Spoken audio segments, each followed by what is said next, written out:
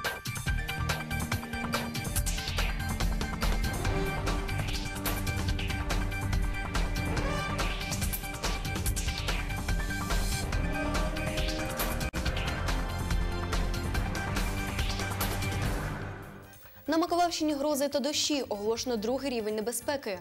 Тенісистку Лесю Цуренко штрафували під час гри у Парижі.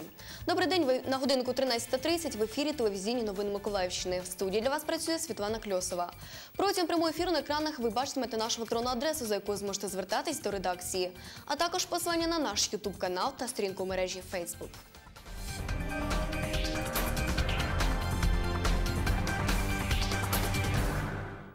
Дощі та грози обіцяють синоптики на Миколаївщині протягом тижня. Активний атмосферний фронт, що проходить через територію Миколаївської області, став причиною зміни погоди. Говорить Роман Мурмило, провідний синоптик Миколаївського обласного центру з гідрометеорології. Ми очікуємо короткочасні грозові дощі е, місцями в супроводі шквалів та випадіння граду. Е, На жаль, е, буде це. Хто помітить той град, то не помітить, це вже е, ну, випадковість, тому що це, е, ці явища носять е, локальні, локальний характер.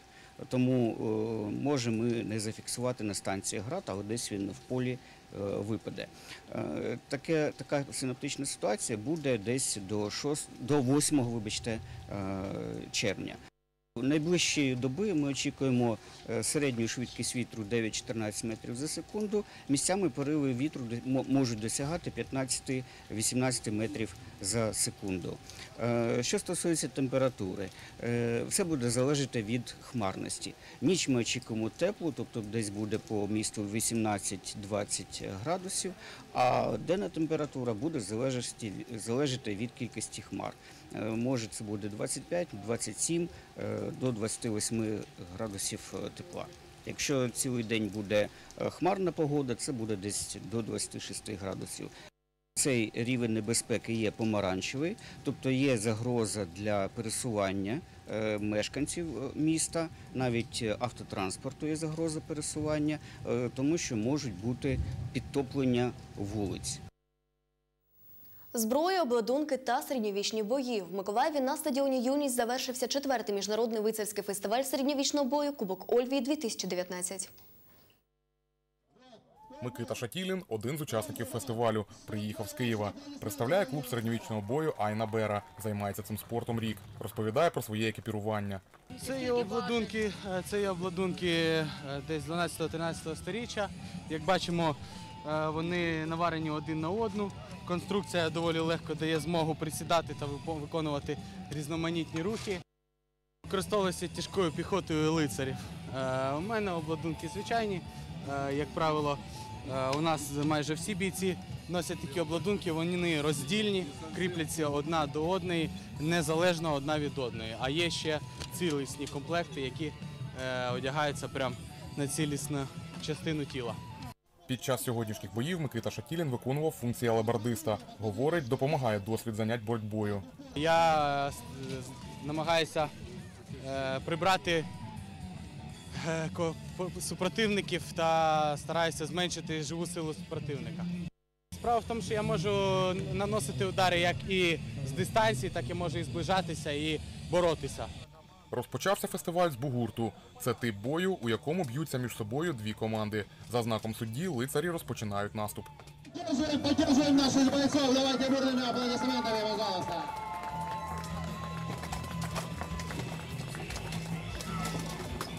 Протягом хвилини частина бійців вибула з гри.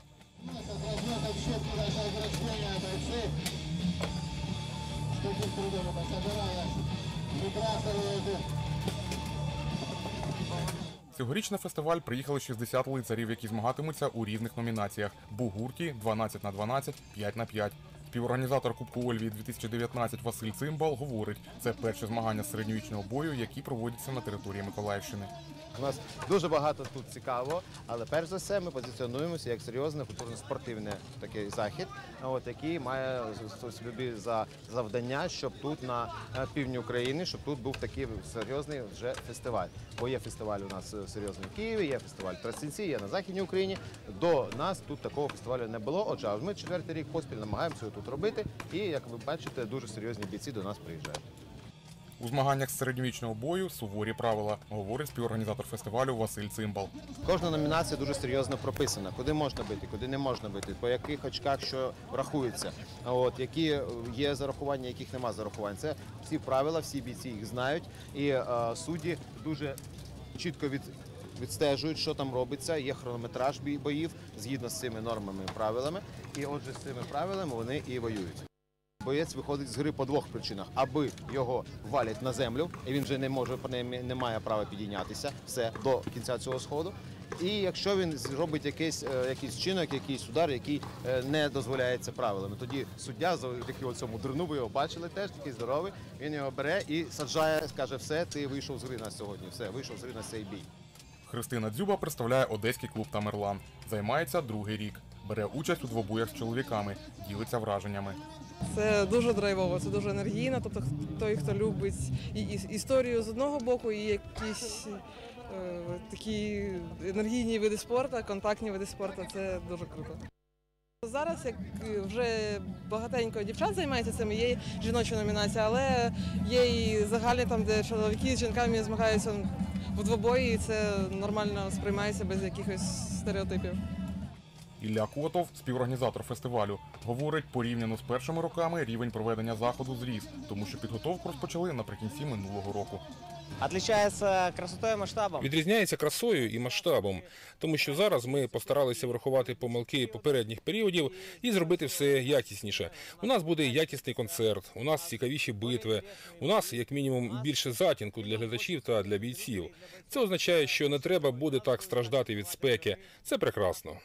Роман Шутов один з гостей фестивалю, живе у Києві. Разом з дружиною Анастасією Гернегою вдруге приїхав на Кубок Ольвії. Автомобільна подорож подружжя тривала 10 годин. Говорять, видовище того варте. Фестиваль зростає, звичайно. От і дуже тішить, що цей вид спорту він в принципі розвивається зараз не тільки в Україні, в усьому світі. Те, що у них зараз і міжнародна асоціація, те, що є чемпіонат світу, те, що цей е, цей спорт це дійсно вже є не просто якесь хобі, там чоловіків і дівчат, які там просто їм подобаються середньовічні бої. А це дійсно вже знаєте такий повноцінний вид спорту з правилами, з асоціацією і так далі. Ну це класно. І звичайно, це це відбувається на рівні чемпіонатів світу, які, до речі, в Україні проходили цього року. І такий фестиваль, як Миколаївський, це дуже круто. Володимир Степанов, Сергій Куропятніков, телевізійні новини Миколаївщини. До Дня захисту дітей в Миколаївському дитячому містечку Казка відкрили фотовиставку під назвою Впадаємо в дитинство. Свої дитячі фотографії на виставці показали 160 миколаївців. Серед них і директор Миколаївської обласної дитячо-юнацької спортивної школи шахів Руслан Хамзін. Каже, на дитячому фото йому 4 роки, а це 60 років тому. Дитинство це здорово. Дитинство це прекрасно. У мене так вийшло, що батьки були військовими, і мені довелось поїздити по всьому світу у багатьох республіках колишнього радянського союзу. Зміна місць проживання вплинула на таку розширену географію друзів, з якими ми й досі підтримуємо зв'язок. Одна з фото була без підпису. Миколаївці мали відгадати, хто цей хлопчик. Насправді ж на фото була дівчинка, миколаївська журналістка та телеведуча Анастасія Прокоф'єва. Когда увидела эту фотку в числе отбираемых, я так, о, вот кто будет нашей фотозагадкой. Я на прошлом году Любас был девочкой. Родители хотели мальчика. Поэтому его наряжали как могли. Адміністраторка фотовиставки Тетяна Жарінова розповідає, ініціатором фотовиставки другий рік поспіль є В'ячеслав Сімченко, бізнесмен. Більшість е, людей погоджилася одразу і шукали, рили свої архіви, сімейні фотоальбоми. Хтось там дзвонив мамам, татам, десь там пересилали фотографії. Тобто є навіть світлини, які там десь сканували в Германії і слали сюди. Перша червня це не лише свято для дітей, тому ми вирішили робити це свято для нас, для дорослих. Для дорослих встановили батут, всім охочим наносили аквагрим. З кульок облаштували фотозони. Виставка Впадаємо в дитинство діяла до 19 години. Вихованку южноукраїнського тенісу Лесю Цуренко штрафували під час матчу першого кола на турнірі серії Гранд Слем Ролан Гарос. 8 травня друга ракетка України грала проти канадської тенісистки Ежені Бушар. Суддя зафіксував, як тренер українки підказував підопічній, що заборонено правилами. Через це Леся Цуренко заплатить 2,5 тисячі доларів штрафу. Нагадаємо, матч проти Ежені Бушар завершився з рахунком 6-2-6-2 на користь української тенісистки. Свої виступи на цьому турнірі 27-ма ракетка світу вже завершила. У третьому колі Леся Цуренко поступилася третьому номеру світового рейтингу румунці Сімоні Халеп 2-6-1-6. Загалом на Ролан Гарос Українка заробила 143 тисячі євро призових. Володимир Степанов, телевізійні новини Миколаївщини.